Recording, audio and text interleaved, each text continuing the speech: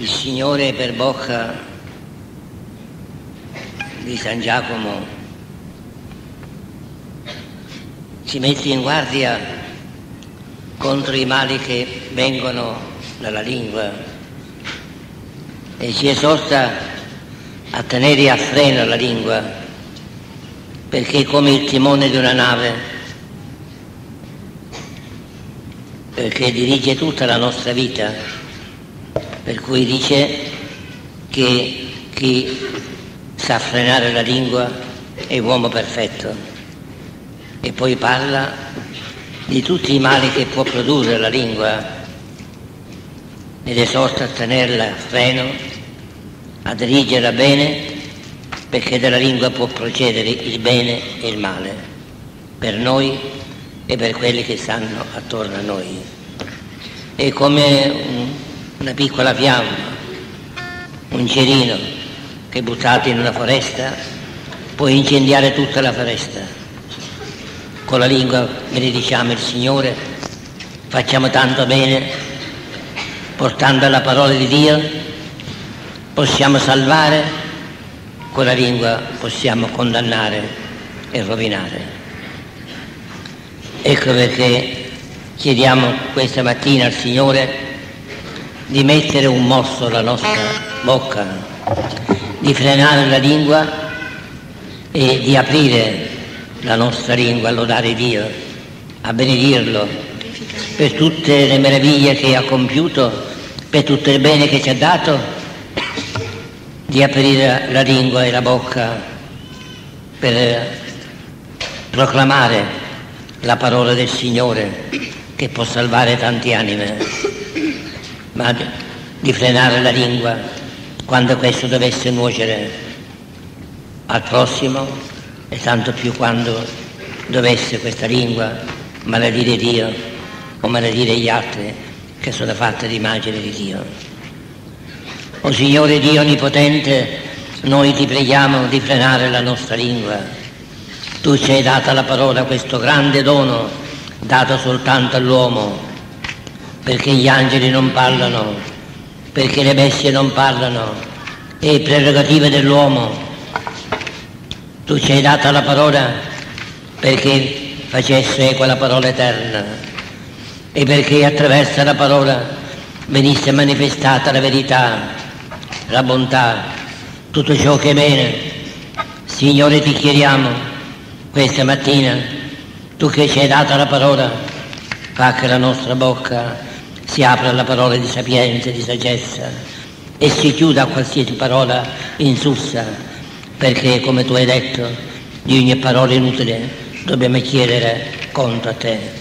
Signore, scendi qui in mezzo a noi, parola eterna, scendi dentro di noi e dacci la tua parola, perché con la tua parola noi possiamo annunziare al mondo che tu sei il Signore e possiamo governare noi stessi dirigere noi stessi nella via della pace.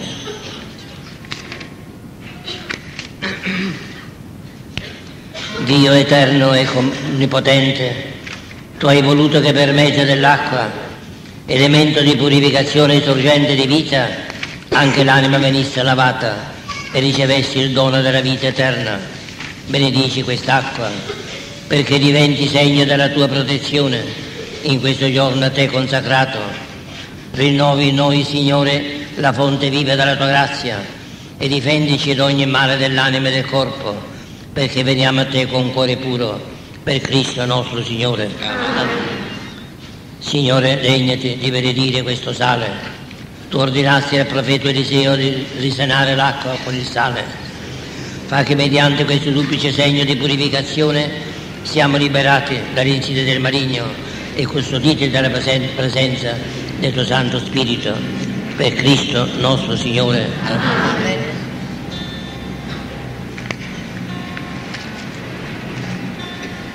Su di voi verserò dell'acqua pura e sarete mondi d'ogni vostra colpa e vi darò un cuore nuovo e un labbro nuovo, dice il Signore. Gesù, Gesù, benediciamo con la nostra bocca Gesù. Usiamo la nostra lingua per lodare Dio Lodate popolo tutto il Signore, benedite il suo nome ora e sempre. Ecco, lodiamo il Signore. Con la nostra bocca, usiamo bene la nostra bocca in questo momento. Lodiamo Dio. Egli ha purificato le nostre labbra, ha purificato se noi ci crediamo la nostra bocca. E allora si apre la bocca la lode di Dio. Gridiamo quel nome grande che era nel cuore del Padre e il Padre ha rivelato agli uomini e in cui è la nostra salvezza. Gesù, Gesù, Gesù. Gesù. Gesù, invocazione, invocazione. Invocazione. Questo è il nome dato dal Padre, chiamato dal Padre fin dall'inizio e rivelato dall'angelo a Maria e a Giuseppe. È questo nome che risuoni nella nostra bocca, perché il nome di Gesù purifica la nostra bocca e la nostra lingua, santifica tutto l'essere nostro. Gridiamo allora sempre in canto Gesù, Gesù, Gesù.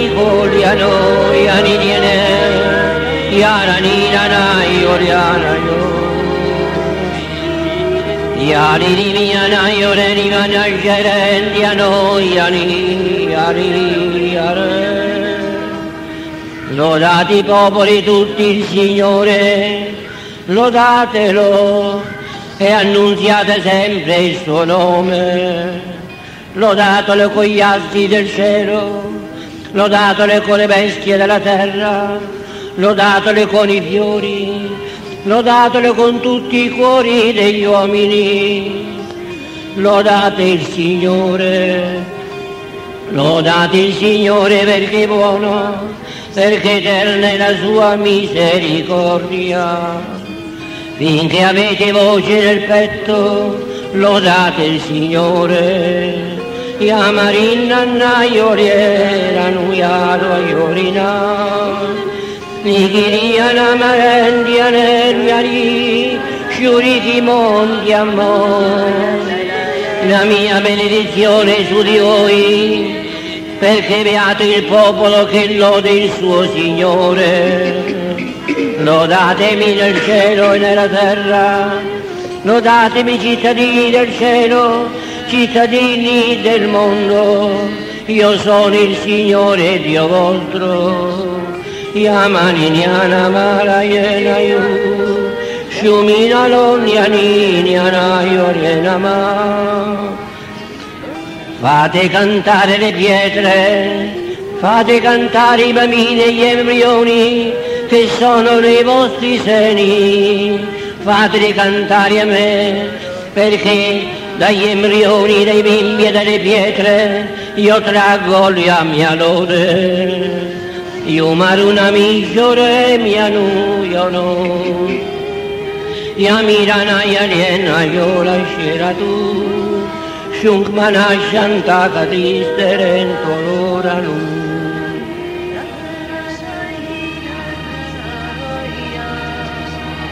Lodate il Signore, cantate il Signore, lodate, benedite il Signore, purificate la vostra lingua, lodando Dio.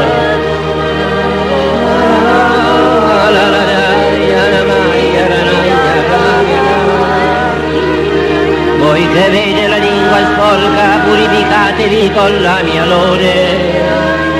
Lavatevi, lavatevi la bocca, lavatevi la lingua, cantando il mio nome io sono il vostro Dio, mi dai a inannuiare voi che maledite il vostro fratello, tu che benedici il Signore, non benedire più coloro che ti fanno del male, ma benedici coloro che ti fanno lodare Dio. Non invocare il nome del mio nemico, non invocare le potenze straniere, ma invochi il nome del Signore. Benedici i tuoi fratelli che lodano lo stesso Dio, aiutali a benedire Dio, perché questa è la mia volontà e io arianima scena tasciorà.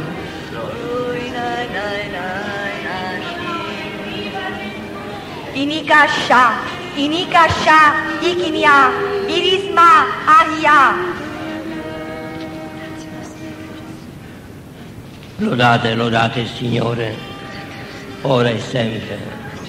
O Padre che dell'agnello immolato sulla croce fai scaturire sorgenti dell'acqua viva.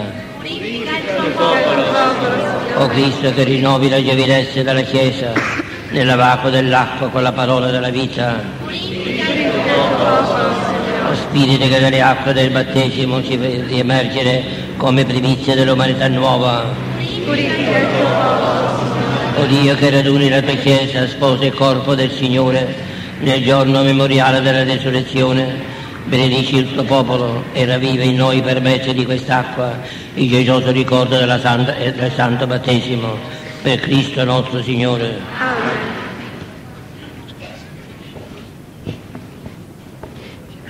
Preghiamo. O Dio Padre misericordioso, soccorri la nostra debolezza e per intercessione di Maria, Madre Immacolata del tuo, Figlio, fa che risorgiamo dal peccato alla vita nuova per il nostro Signore Gesù Cristo, tuo Figlio che è Dio e vive e regna con te nell'unità dello Spirito Santo per tutti i secoli dei secoli. Dalla lettera di San Giacomo Apostolo. Fratelli miei, non fatevi maestri in molti, sapendo che noi riceveremo un giudizio più severo, poiché tutti quanti manchiamo in molte cose.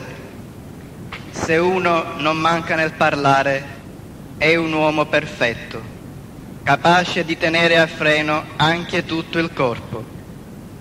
Quando mettiamo il morso in bocca ai cavalli perché ci obbediscano, possiamo dirigere anche tutto il loro corpo. Ecco, anche le navi, benché siano così grandi e vengano spinte da venti gagliardi, sono guidate da un piccolissimo timone, dovunque vuole chi le manovra. Così, anche la lingua è un piccolo membro e può vantarsi di grandi cose. Vedete un piccolo fuoco quale grande foresta può incendiare? Anche la lingua è un fuoco, è il mondo della iniquità, vive inserita nelle nostre membra e contamina tutto il corpo e incendia il corso della vita, traendo la sua fiamma dalla genna Infatti ogni sorta di bestie e di uccelli, di rettili e di esseri marini sono domati e sono stati domati dalla razza umana. Ma la lingua nessun uomo la può domare. È un male ribelle, è piena di veleno mortale. Con essa benediciamo il Signore Padre nostro e con essa malediciamo gli uomini fatti a somiglianza di Dio. È dalla stessa bocca che esce la benedizione e la maledizione. Non deve essere così, fratelli miei. Parola di Dio.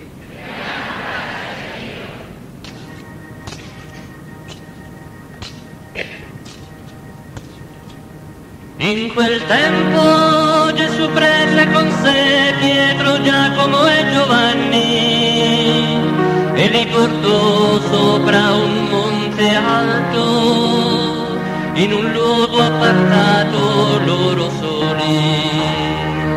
Si trasfigurò davanti a loro e le sue vesti divennero splendenti.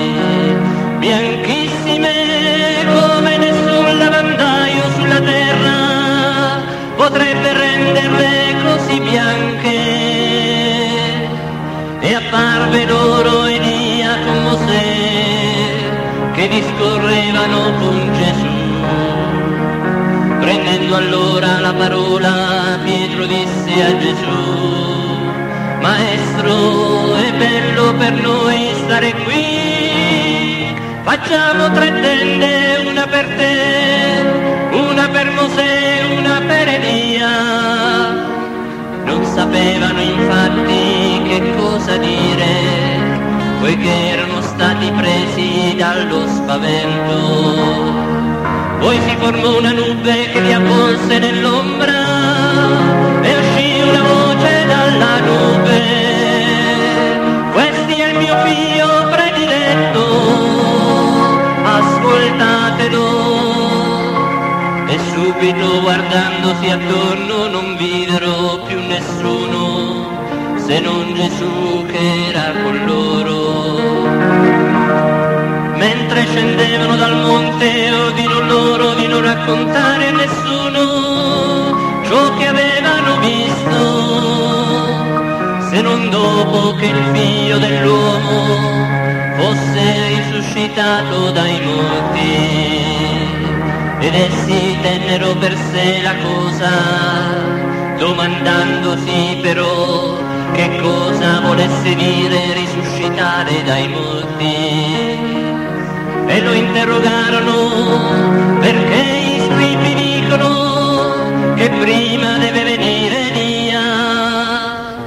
Ed egli rispose loro, sì, prima viene Elia e ristabilisce ogni cosa ma come sta scritto del figlio dell'uomo che deve soffrire molto ed essere disprezzato. Orbene, io vi dico che Elia è già venuto, ma hanno fatto di lui quello che hanno voluto, come sta scritto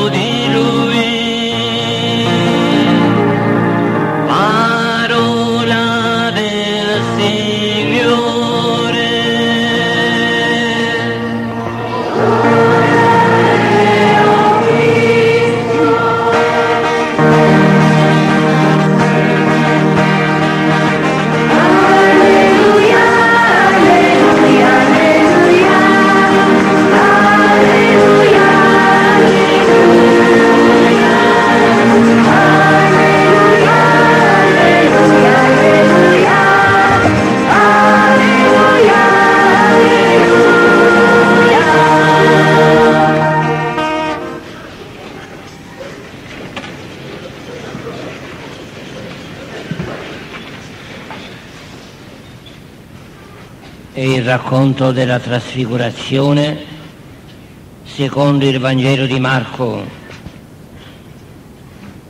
è un fatto centrale nella vita di Gesù, raccontato da Matteo e da Luca e ricordato dall'Apostolo Pietro nella sua lettera.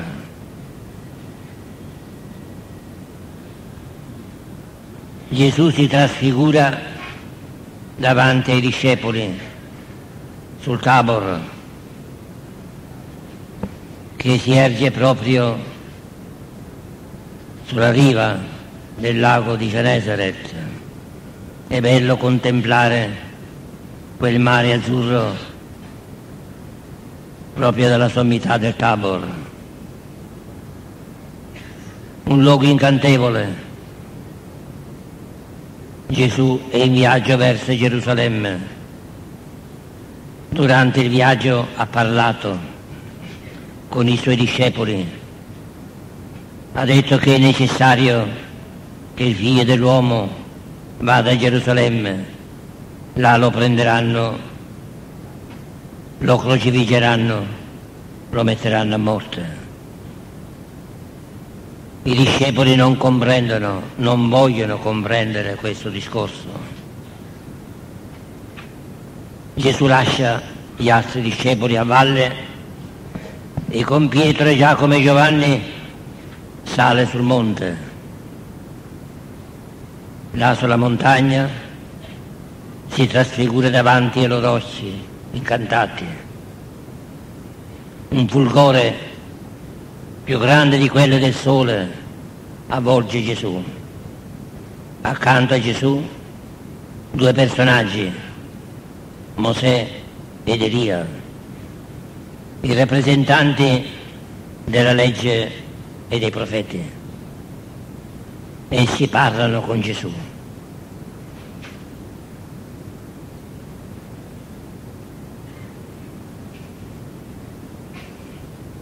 Gli apostoli non comprendono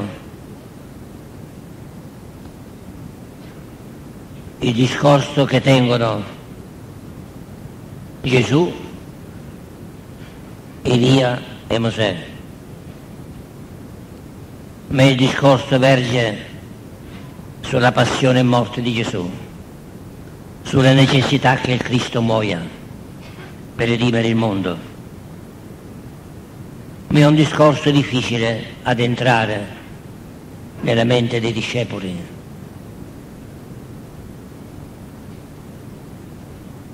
Ma ecco ad un momento la voce del Padre che si fa sentire e scuote tutti, questo è il mio figlio diretto, ascoltatelo.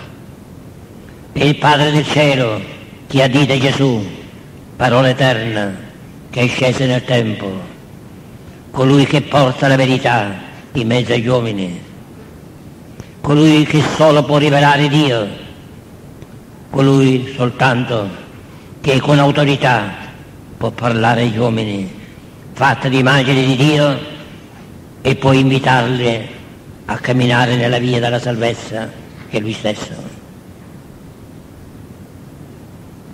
È interessante questa parola del Padre, ascoltate Gesù. Lui solo è la verità, lui solo conosce la verità, lui solo porta la verità in mezzo agli uomini. Se volete essere nella verità, ascoltate lui. Gli apostoli pensano a se stessi, sono incantati da quella visione. Pietro Inebriato dice, Signore, com'è bello stare qui, com'è bello, facciamo tre tende, una per te, una per Elia, una per Mosè e noi ce ne staremo qui, come in cielo, beati, a vedersi ed ascoltarti.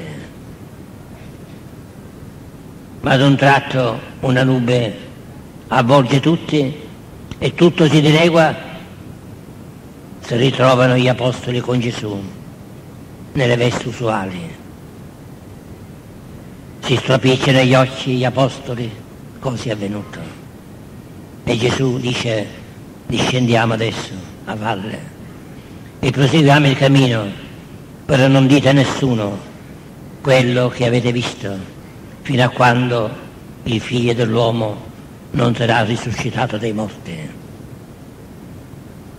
E gli apostoli scendono con Gesù, gioia nel cuore, mestizia nel cuore insieme. Si domandano tra di loro che significa risuscitare dei morti. Perché questo silenzio che noi dobbiamo tenere su questo avvenimento? E che cosa significa questo risuscitare dei morti? Si congiungono con gli altri apostoli e Gesù riprende il cammino e continua il discorso. Qual è il discorso? Gesù prima di salire sul monte, lungo la strada, tiene il discorso sulla sua passione e morte. Là, sulla montagna, i due grandi intercessori e i due grandi parlatori del Vecchio Testamento, Mosè ed Elia, parlano con Gesù della necessità della sua morte. Gesù scende e riprende il discorso sulla sua passione e morte e si avvia verso Gerusalemme dove salerà il Calvario, sarà messa a morte per la redenzione dell'uomo. È interessante questo discorso di Gesù, perché il Padre si dice ascoltatelo, ascoltatelo. È il discorso della passione e morte del Signore, è il mistero pasquale che si para davanti ai nostri occhi. E nel mistero pasquale c'è il mistero della nostra vita, perché se vogliamo essere salvati dobbiamo entrare nel mistero di Cristo, nel mistero pasquale della sofferenza, della morte e della risurrezione. Quello che avviene a Cristo avviene anche a noi nella vita. Siamo nello stesso percorso perché Egli è la via, l'unica via. Per noi anche il discorso di dover patire, soffrire per entrare nella gloria. Il discorso della sofferenza umana, del rinnegamento da parte degli uomini se siamo ascoltatori del Vangelo, se siamo seguaci di Cristo, avremo persecuzioni, saremo rinnegati dagli uomini. E se vogliamo essere a parte della gloria di Cristo, dobbiamo soffrire e accettare ogni sofferenza che Dio ci manda per essere a parte della croce di Cristo ed essere così a parte della gloria di Cristo nella resurrezione. Però è, è su un particolare che io voglio fermarmi, che è proprio di Marco. Gesù nel viaggio di ritorno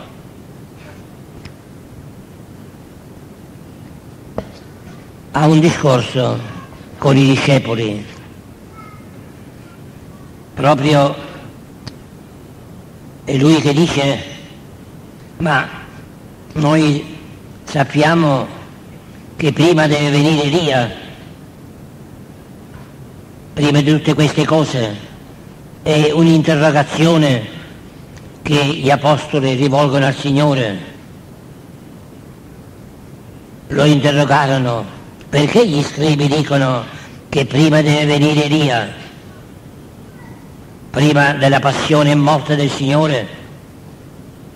E Gesù risponde, sì, prima viene Ria e ristabilisce ogni cosa.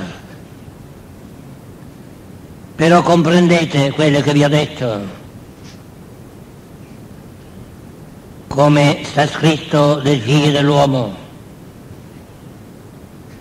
Egli deve molto soffrire ed essere disprezzato. Questo è il punto centrale della rivelazione. Elia sì, ma Elia è già venuto, è già venuto. ma non hanno ascoltato la sua voce. È venuto il mio precursore, Giovanni Battista, e l'interpretazione che dà un altro evangelista. Già è venuto e ha annunciato che io sarei venuto in questo mondo, ma hanno fatto di lui quello che hanno voluto, lo hanno ammazzato, come sta scritto di lui. Chi dice la verità è ammazzato. Hanno ammazzato Elia che apriva la bocca per dire la verità. Il peccato non resiste di fronte alla verità. E quando insorge il peccato uccide la verità.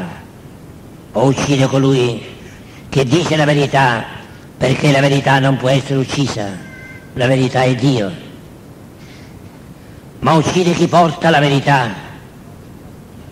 Venne Gesù, Maestro, venne Gesù la verità stessa e lo hanno eliminato perché diceva la verità.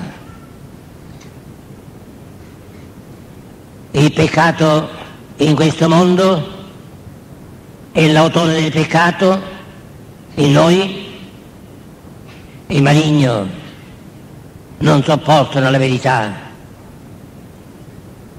Diceva Gesù di lui che la verità non è lui, fin dall'inizio. Egli è decaduto dalla verità. E tutto ciò che è sulla sua bocca è falsità. E ciò che è falso ciò che è male non può sopportare il vero, non può sopportare il buono, il bene. Ed è per questo che nella lotta il male cerca di eliminare il bene, la menzogna cerca di eliminare la verità, ma la verità eliminata risorge, il bene eliminato risorge, Cristo risorge e ogni menzogna viene distrutta, ogni inganno viene rivelato, il marigno viene conculcato. Però è pur vero quello che dice Gesù, che chi dice la verità viene eliminato dagli uomini. Nel mondo non c'è la verità. Loro che sono i portatori della verità, ma non per questo dobbiamo noi uscire dalla via della verità. Dobbiamo dire la verità e dobbiamo praticare la verità. E la verità è Cristo Signore che dobbiamo parlare Cristo e dobbiamo vivere Cristo perché è la verità che confonde la menzogna è la verità che vince tutto il malessere di questo mondo. Fratelli e sorelle questo discorso è per noi. Possiamo anche noi soffrire, subire persecuzioni perché pratichiamo la verità, che è la fede in Cristo Signore, perché diciamo la verità, che è Cristo Signore, ma attenti alla verità. La verità non è quello che noi diciamo, non sono le cose nostre la verità, non sono i fatti quotidiani la verità. Sì, possono essere riflessi dalla verità, ma la verità di cui parla Gesù è Lui stesso. E quando il Padre dice ascoltatelo, ascoltate Gesù, ci vuole mettere tutti in ascolto delle verità. Noi facciamo risuonare nella nostra bocca le verità, cioè la nostra bocca deve essere come l'organo attraverso cui la verità viene ripetuta agli uomini. Siamo dei ripetitori della verità, ma per essere fedeli ripetitori della verità bisogna ascoltare la verità, bisogna ascoltare colui che è la verità, bisogna essere in ascolto costante di Cristo. Ed è qui che io voglio un momento attrarre la vostra attenzione senza un fedele ascolto di Cristo, di quello che dice Cristo di sé di quello che Cristo dice del Padre, di quello che dice Cristo di noi, di quello che dice Cristo nel mondo, noi non possiamo annunciare la verità. Ripete che quando parlo di verità non, non parlo delle verità contingenti, delle piccole verità o menzogne che noi possiamo dire, ma si parla della verità con la V maiuscola, la verità che Dio. Soltanto stando in ascolto di Cristo, che è la verità, noi possiamo parlare secondo verità, possiamo annunziare la verità, possiamo praticare la verità. Di qui il bisogno assoluto di essere in ascolto di Cristo e soltanto di Cristo perché Lui soltanto è la verità.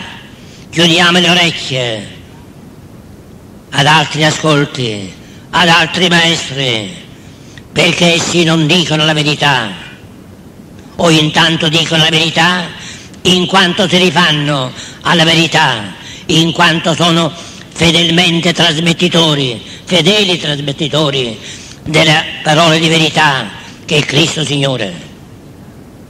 La verità è Cristo. Dove non c'è Cristo, ivi non c'è verità.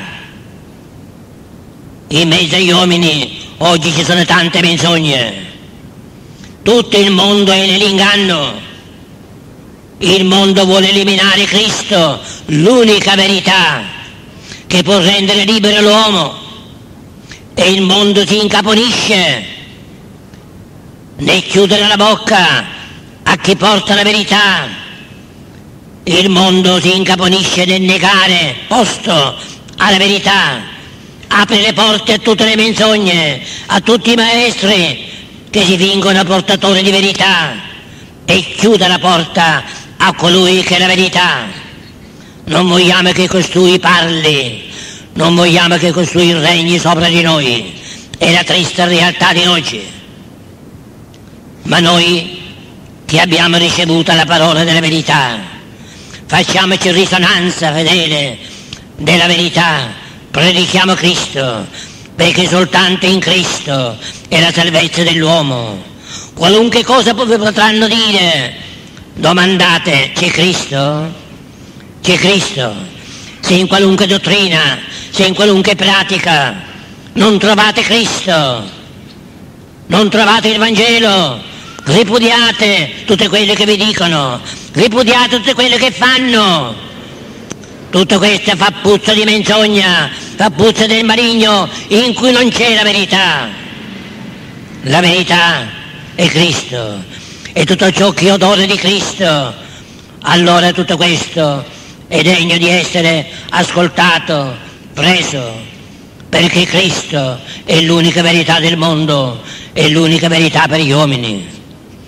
Chiediamo al Signore Gesù di essere radicati nella verità, per annunciare la verità, perché noi e tutti gli uomini possiamo essere liberi nella verità, come diceva lo stesso Gesù.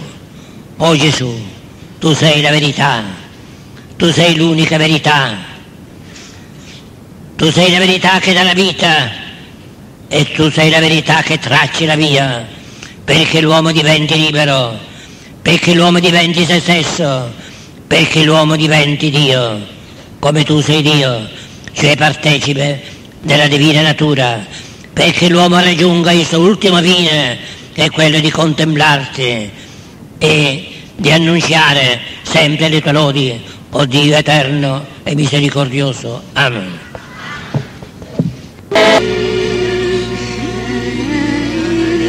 Shivaya Noda Yodya Yana Ramaya Ramamaya Ramaya Ramaya Shivaya Yarya Karam Yana Ramayo Namasya Harina Haya Rana Yana Yavarina Maraya Rinya Yana Dimaruna Yare Yare Ramu Sharhaya gödere mi yanar yanuşamam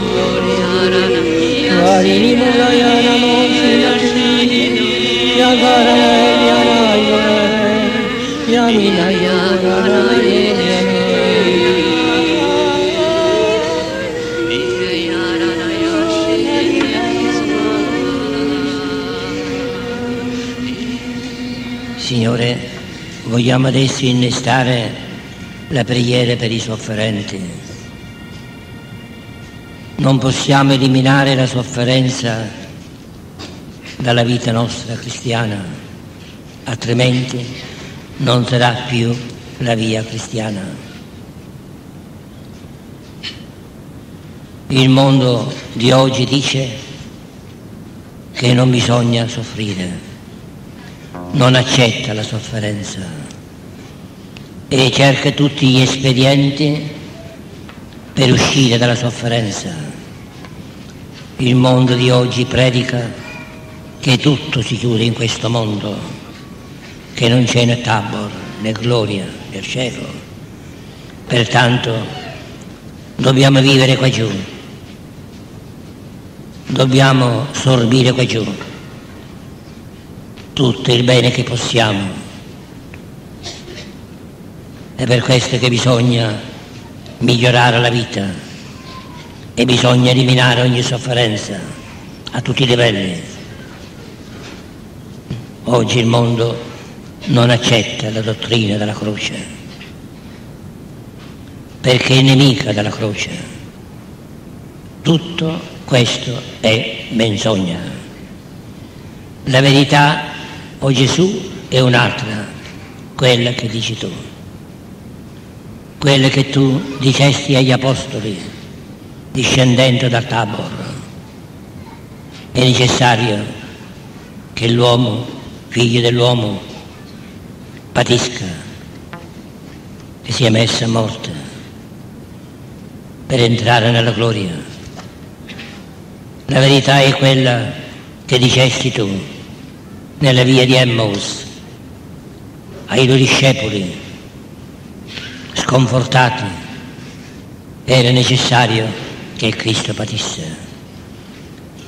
La verità è che se siamo consorti tuoi, o Signore Gesù, dobbiamo essere nella sofferenza e poi nella gloria.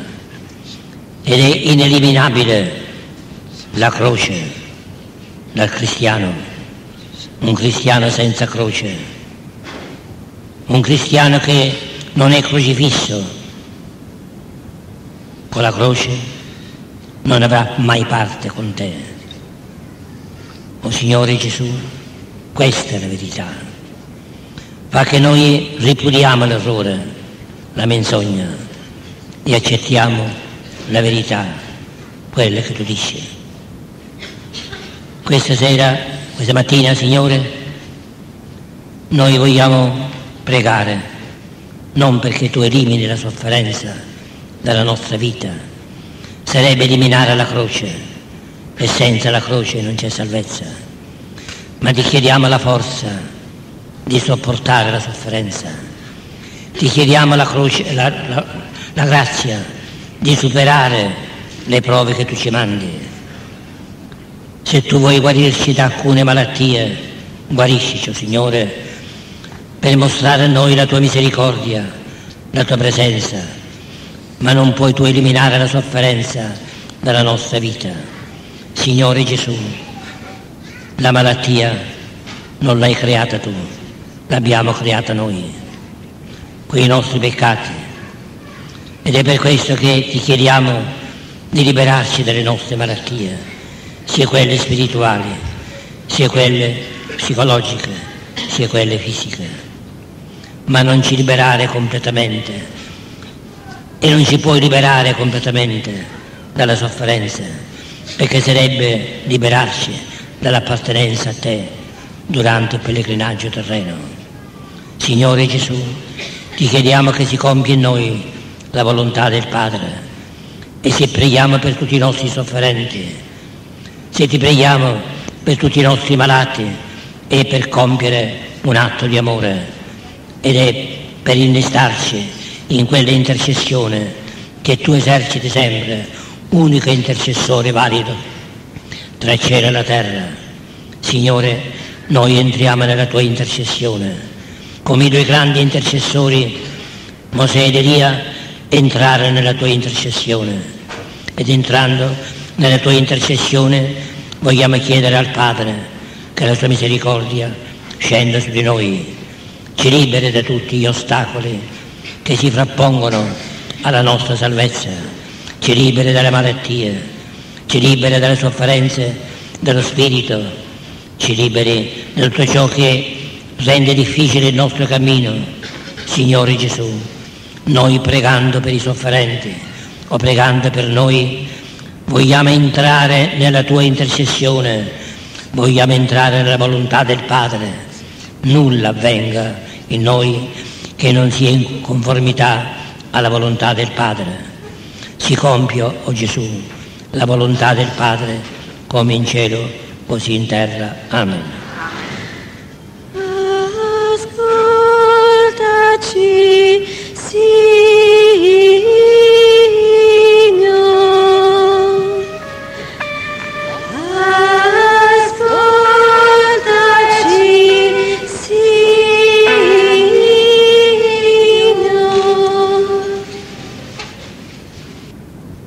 Ascolta, o oh Padre Santo, la preghiera degli umili. Ascolta la preghiera che ti abbiamo messo ai tuoi piedi per i nostri fratelli che si raccomandano a te attraverso di noi e concedi a tutti la remissione dei peccati, la guarigione spirituale ed anche la guarigione fisica. Ti presentiamo poi, o oh Signore, noi stessi, con le nostre malattie psicologiche, spirituali e fisiche. Abbi pietà, o oh Signore, di questo popolo in cammino. Vienici soccorso, Signore, vieni soccorso della nostra debolezza, perché non veniamo meno nel cammino. Sostienici con la tua grazia, te lo domandiamo per Cristo, nostro Signore. Amen.